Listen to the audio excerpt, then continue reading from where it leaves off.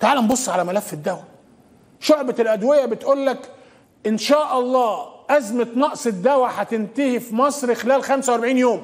تسويف. كما هو الحال دايما. يعني إن شاء الله بعد شهر ونص الدنيا الدنيا هتبقى تمام. طيب غرفة الدواء على مصراوي بتقول كلام غير اللي اتقال على العربية. بتقول لك أزمة نواقص الأدوية هتنتهي خلال أسبوعين بس. طيب بينما الضيف اللي كان على اكسترا نيوز بيقول لك إن الحكومة قدرت توفر المنتجات اللي بيحتاجها السوق المحلي فعلا. يعني على العربية في أزمة وح... أزمة في الدواء هتنتهي بعد شهر ونص. على مصراوي في أزمة في الدواء هتنتهي بعد 15 يوم. على اكسترا نيوز بيقول لك لا إحنا مفيش أزمة أصلا اسمع معايا. آلات الإمداد في الغذاء وعشان كده الحكومة يعني أنا شايف إن هي بتعمل جاهدة إن هي توفر الاحتياطات الاستراتيجية من السلع والمنتجات اللي ممكن يحتاجها السوق المحلي نعم.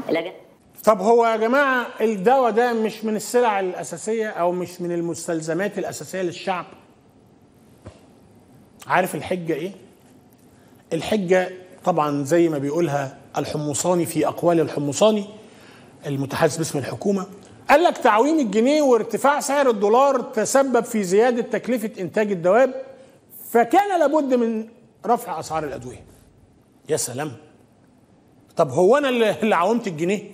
ولا أنا اللي زودت ثمن الدولار في البلد؟ ما أنتوا اللي بهدلتونا.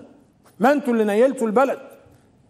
عموما عايز أقول لك إن الحالة دي حالة نقص الدواء في السوق وعجز الدولة وعجز النظام عن توفير الأدوية للمواطنين المصريين خلقت سوق موازي للدواء دلوقتي بقى في ابلكيشن تقدر تطلب عليه الأدوية ده سوق موازي للدواء بأسعار ب... ب... ده علشان تجيب الأدوية بقت بأضعاف ثمنها الحقيقي. في سوق موازية علشان تلاقي الدواء الطبيعي التمام بس هتدفع أكتر وفي سوق موازية تانية للغلابة لدواء بيتعمل تحت بير السلم. والدولة مش موجودة. اللي معاه فلوس بيقدر يجيب الدواء بفلوس كتير واللي معهوش فلوس يروح يشتري دواء على قده. وبقى في مستويات في الأدوية في مصر.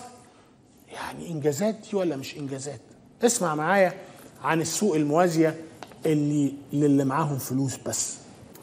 application دلوقتي آه، بدون ذكر أسماء يعني. آه، عنده كل الادويه الناقصه تدخل في ال search تكتب online pharmacy وبعدين تكتب اسم الصنف اللي أنت عايزه. بس آه، يعني أقسم بالله مصايب. أنا واحد صاحبي لسه قايل لي عليه لقيته كان بيسألني على Gonal-F فقلت له تمام هشوفها لك وبتاع بس ما لقيتهاش يعني. فهي سعرها 2950 هو لقاها ال application ده ب 8350 خد بقى الأصعب من كده علبه اليوسلفين اللي هي كانت سعرها 22 جنيه. عنده برضه على نفس ال application ب 135 جنيه. الفكرة أنت بتاخد خمس اضعاف الحاجة. تخيل ال Gonal-F دي مثلا لو انت مخبي من أيام ما كانت بسعرها ب 2950 مش هقول لك واخدها بخصم أي حاجة انت كسبان فيها ما لا يقل عن 6000 جنيه. يعني أنا مش فاهم في إيه والله. إحنا بنتاجر في الدواء ولا بنعمل إيه؟ الفكرة بس إن الحاجات دي يعني إحنا أنا أعرف صيدلية مثلا ممكن تبيع حاجة سوق بس في مداريه مش معرفه حد بتاع. وطبعا ده يعني جزء قليل جدا من الصيدلة مش عدد كبير بس آه، على المداري. لا ده يعني على ال application آه، الدواء بيبقى ب 2000 ونص ولا حاجة فيقول له آه موجود على ال application اللي هو مش عايز يقول اسمه بس موجود 9000 جنيه مثلا.